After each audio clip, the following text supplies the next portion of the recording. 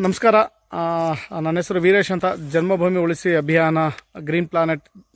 ಈ ವಿಚಾರದಲ್ಲಿ ನಾನೀಗ ತೀರ್ಥಹಳ್ಳಿ ಹತ್ರ ಒಂದು ತೋಟದಲ್ಲಿ ಬಂದು ನಿಂತಿದ್ದೀವಿ. ಇದರಲ್ಲಿ ನಮ್ಮ ಸುಹಾಸ್ ಸರ್ ಅಂತ ಅವ್ರದ್ದು ಹುಂಚ ಊರು. ನಿಮ್ಮದು ತೋಟ ಎಲ್ಲ ಎಷ್ಟಿದೆ ಸರ್?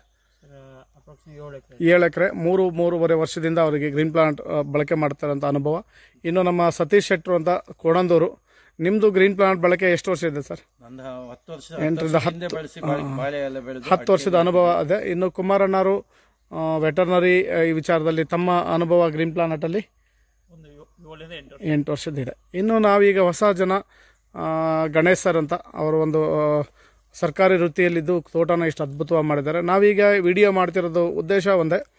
ಇವತ್ತು ಈ ತೀರ್ಥಹಳ್ಳಿ ಭಾಗ ಹೊಸನಗರ ಭಾಗ ಸಾಗರ ಭಾಗ ಸೊರಬ ಬಾ ಮಲೆನಾಡಲ್ಲಿ ಬೇರುಹುಳ ಒಂದು ಮೊದಲನೇ ಪ್ರಾಬ್ಲಮ್ಮು ಎರಡನೇದು ಇವತ್ತು ಅಡಿಕೆಗೆ ಕೊಳೆ ಬರೋದು ಬೋರ್ಡೋದಲ್ಲಿ ಕಂಟ್ರೋಲ್ ಆಗದೇ ಇರೋದು. ಈ ಎರಡು ಥರ ವಿಚಾರದಲ್ಲಿ ನಾವು ಈಗ ಸಂದರ್ಶನ ಮಾಡ್ತಾ ಇದ್ವಿ ಮೊದಲನೇದು ಈಗ ಒಂದು ವಿಡಿಯೋ ಮಾಡಿದ್ದೀವಿ. ಅವರು ಭೂಮಿಗೆ ಹಾಕೋದ್ರಿಂದ ಅವ್ರಿಗೆ ಇಳುವರಿ ಎಷ್ಟು ಹೆಚ್ಚಿಗೆ ಆಗಿದೆ, ತೂಕ ಎಷ್ಟು ಹೆಚ್ಚಿಗೆ ಬಂದಿದೆ, ಎಲ್ಲ ಥರದಲ್ಲೂ ಅವ್ರದ್ದೊಂದು ವಿಡಿಯೋ ಈಗ ಆಲ್ರೆಡಿ ಮಾಡಿದ್ದೀವಿ. ನಾನೀಗ ಮೇಯ್ನಾಗಿ ಆ ಬೇರುಳ ಮತ್ತು ಕೊಳೆ ರೋಗ, ಈ ಎರಡು ಬಹಳ ಸಂದಿಗ್ಧದ ಪರಿಸ್ಥಿತಿಯಲ್ಲಿ ರೈತ ಇದ್ದಾರೆ. ಅದಕ್ಕೋಸ್ಕರ ಅವ್ರು ಏನೇನು ಮಾಡ್ತಾ ಬೇರುಳಕ್ಕೆ ಈಗೇನು ಮಾಡಿದಾರೆ ಹೆಂಗೆ ಅನುಕೂಲ ಆಗಿದೆ ಅಂತ ಕೇಳೋಣ. ಗಣೇಶ್ ಸರ್ ತಮ್ಮ ಹೆಸರು ನಿಮ್ಮದು ಊರು? ನನ್ನ ಹೆಸರು ಗಣೇಶ್ ಅಂತ ಹೇಳಿ. ಹಾಂ. ಊರು ಬಾಳ್ಗೋಡು ಅಂತ. ಓಕೆ. ಈಗ ಬೇರುಳಕ್ಕೆ ನೀವು ಮೊದಲಿಂದ ಏನು ಮಾಡ್ತಾ ಇದ್ರಿ? ನಿಮ್ಮ ತೋಟ ಬೇರುಳಿಂದ ತೊಂದರೆ ಇದೆಯಾ? ತೊಂದರೆ ಇತ್ತು. ಏನು ಆರ್ನೂರು ಮರ ನಮ್ದು ತೋಟದಲ್ಲಿ ಹಾಂ. ಇದರಲ್ಲಿ ಸಡನ್ ಆಗಿ ಒಂದು ಹತ್ತರಿಂದ ಇಪ್ಪತ್ತು ಮರದಲ್ಲಿ ಕಾಣ ಅದು ಹಳದಿ ಗೊತ್ತಾಯ್ತು. ಬೇರೆ ಹಳದಿ ಬೇರುಳದ ಲಕ್ಷಣ ಬಂತು. ಲಕ್ಷಣಗಳು ಕಂಡು ಬಂತು. ಆವಾಗ ಸಾಮಾನ್ಯ ಅಕ್ಕಪಕ್ಕದ ಮತ್ತು ಹಿಂದಿನ ಸ್ವಲ್ಪ ಅನುಭವಸ್ಥರು ರೈತರ ಬಗ್ಗೆ ವಿಚಾರ ಮಾಡಿದಾಗ ಟೆಮೆಟ್ ಹಾಕಿ ಅಂತಂದರು ಆಮೇಲೆ ಇದು ಸುಣ್ಣ ಹಾಕಿ ಅಂತಂದರು ಆಮೇಲೆ ಕ್ಲೋರೋಪರಿಪಸ್ ಹಾಕಿ ಅಂದರು. ಅದೇನೋ ಒಂದು ಎರಡು ಮೂರು ದಿವಸಕ್ಕೆ ಅಲ್ಲ ಒಂದು ತಿಂಗಳು ಎರಡು ತಿಂಗಳು ಸ್ವಲ್ಪ ಒಂಚೂರು ಹಸಿರಾದಂಗೆ ಆಗೋದು ಅಷ್ಟು ಇದಾಗಲಿಲ್ಲ. ಲಾಸ್ಟಿಗೆ ಆಮೇಲೆ ಇವರು ಸುವಾಸರ್ ಪರಿಚಯ ಆಯಿತು. ನೀವು ಇದನ್ನು ಬೇವಿನ ಎಣ್ಣೆ ಹಾಕ ಹಾಕೋದ್ರಿಂದ ಅವ್ರು ಗ್ರೀನ್ ಪ್ಲಾನೆಟ್ ತಂತ್ರಜ್ಞಾನದಲ್ಲಿ ನಮ್ದು ಬೇವಿನೆಣ್ಣೆ ಇದೆ. ಈಗ ಅದು ಹೊಸ ತಂತ್ರಜ್ಞಾನ ಆಧಾರಿತ ಬೇವಿನೆಣ್ಣೆ.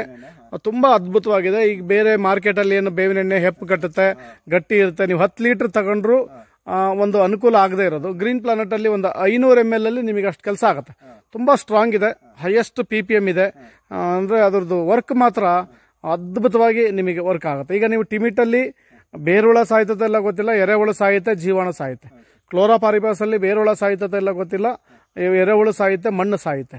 ಬಟ್ ಗ್ರೀನ್ ಪ್ಲಾನೆಟ್ ಬೇವಿನ ಎಣ್ಣೆಯಲ್ಲಿ ಮಣ್ಣನ್ನ ಜೀವಂತಿಕೆ ಇನ್ನೂ ಹೆಚ್ಚಿಗೆ ಆಗುತ್ತೆ ರೆಸಿಸ್ಟೆನ್ಸ್ ಪವರ್ ಹೆಚ್ಚಿಗೆ ಬರುತ್ತೆ.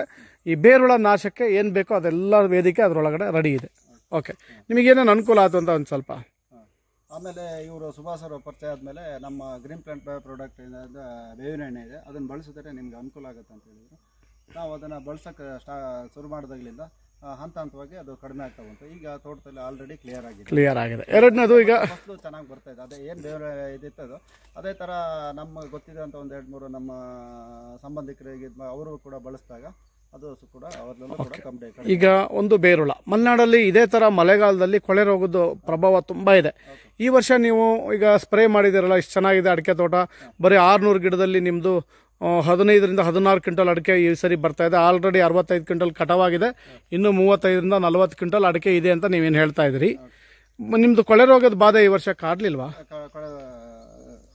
ಬಾಧೆ ಕಂಡು ಬಂದಿಲ್ಲ. ಯಾಕಂತಂದ್ರೆ ನಾವು ಬಯೋ ಜೊತೆಗೆ ನೂರ್ ನೂರ ಎಂ ಎಲ್ ಬೇವಿನ ಎಣ್ಣೆ ನೀವೀಗ ಬೋರ್ಡೋ ಮಿಶ್ರಣದ ಜೊತೆಗೆ ಗ್ರೀನ್ ಪ್ಲಾನೆಟ್ ನೀಮ್ ಪೆಸ್ಟಿಸೈಡ್ಸ್ ಅನ್ನ ಬೇವಿನ ಎಣ್ಣೆನ ನೂರ ಎಂ ಎಲ್ ಇನ್ನೂರು ಲೀಟರ್ಗೆ ಹಾಕಿದಿರಿ ಹಾಕಿ ಸ್ಪ್ರೇ ಮಾಡಿದಿರಿ ಎಷ್ಟು ಸರಿ ಬೋರ್ಡೋ ಹೊಡೆದಿರಿ ನೀವು?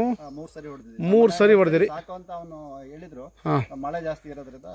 ಒಂದು ಅಡ್ವಾನ್ಸ್ ಆಗಿ ಯಾಕೆ ರಿಸ್ಕ್ ತಗೊಳ್ಳೋದು ಅಂತೇಳಿ ಮೂರು ಸರಿ ಸ್ಪ್ರೇ ಮಾಡಿದಿರಿ ಈಗ ಬೇ ಕೊಳೆ ರೋಗ ಅಂತ ಒಂದು ಪರ್ಸೆಂಟ್ ಇಲ್ಲ. ಈ ನಿಮ್ಮ ಭಾಗದಲ್ಲಿ ಬೇರೆಯವರಿಗೆಲ್ಲ ಕೊಳೆ ರೋಗದ ಬಾಧೆ?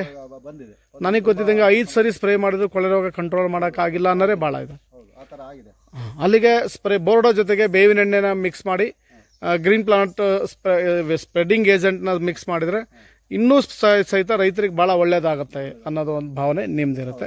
ಸೊ ಸರ್ ನೀವು ಎಷ್ಟು ವರ್ಷ ಆಯ್ತು ಈ ಥರ ಮಾಡೋಕೆ ಶುರು ಮಾಡಿ? ಮೂರು ವರ್ಷದಿಂದ ಈ ಬೇವಿನ ಎಣ್ಣೆ ಮಿಕ್ಸ್ ಮಾಡಿ ನೀವು ಬೋರ್ಡ್ ಬೋರ್ಡ್ ಹಾಕಿ. ಈಗ ನೀವು ಹೇಳಿದ್ದು ನಿಮ್ಮ ಅನುಭವನೇ ಮಾತ್ರ ನೀವು ನಮ್ಮ ಗಣೇಶರಿಗೆ ಟ್ರಾನ್ಸ್ಫರ್ ಮಾಡಿದ್ರಿ. ಓಕೆ ಈಗ ಈ ಥರ ಒಂದು ವ್ಯವಸ್ಥೆಯಲ್ಲಿ ಈಗ ನಮ್ಮ ಹತ್ರ ಮೇಜರ್ ಸಮಸ್ಯೆ ಇರೋದು ಮಲೆನಾಡಲ್ಲಿ ಬೇರುಳ. ಬೇರೆ ಅದಕ್ಕೆ ಎಲ್ಲಿ ಏನು ಪರಿಹಾರ ಸಿಕ್ಕಿಲ್ಲ, ಗ್ರೀನ್ ಪ್ಲಾನೆಟಲ್ಲಿ ಹಂಡ್ರೆಡ್ ಪರ್ಸೆಂಟ್ ಸೊಲ್ಯೂಷನ್ ಇದೆ ಗಣೇಶನರೇ ನೀವು ಯಾ ಯಾರು ಇದ್ದರೆ ಪಾಪ ಆ ಥರದಲ್ಲಿ ಸುಹಾಸರನ್ನ ಭೇಟಿ ಮಾಡಿ ಅಂತ ಹೇಳಿ. ಎರಡನೇದು ಇವತ್ತು ಕೊಳೆ ರೋಗ, ತುಂಬ ಜನ ಸಫರ್ ಇದ್ದಾರೆ. ಯಾಕಂದರೆ ಒಂದು ಸ್ಪ್ರೇ ಮಾಡಿದರೆ ಒಂದು ಡ್ರಮ್ಮಿಗೆ ಸಾವಿರ ರೂಪಾಯಿ ದುಡ್ಡಿದೆ. ಎರಡನೇದು ಐದು ಸರಿ ಸ್ಪ್ರೇ ಮಾಡಿದ್ರು, ಮತ್ತು ನಮಗೆ ಅಲ್ಲಿ ಐದು ಸಾವಿರ ಕೊಡೋದಂತೂ ಬಿಡೋಕ್ಕಾಗಲ್ಲ. ಒಂದೊಂದು ಡ್ರಮ್ಮಿಗೆ ಐದು ಸರಿಗೆ ಒಂದು ಡ್ರಮ್ಮಿಗೆ ಐದು ಸಾವಿರ ಆಯಿತು. ಬಟ್ ಇಲ್ಲಿ ನಮಗೆ ತೋಟ ಉಳಿಲಿಲ್ಲ ಅಂದರೆ ತುಂಬ ಬರಡನ ಆಗೋ ಸಾಧ್ಯತೆ ಇರುತ್ತೆ. ಹಾಗಾಗಿ ಗ್ರೀನ್ ಪ್ಲಾನೆಟ್ ತಂತ್ರಜ್ಞಾನ, ನಾ ಎಲ್ಲ ರೈತ ಬಾಂಧವರಲ್ಲಿ ಕೈ ಮುಗಿದು ಕೇಳೋದು. ಭಾಳ ಮೇಜರ್ ಮಲೆನಾಡಲ್ಲಿ ಏನು ವಿಚಾರ ಇದೆ? ಒಂದು ಪೇರುಳ ಇನ್ನೊಂದು ಕೊಳೆ ರೋಗ.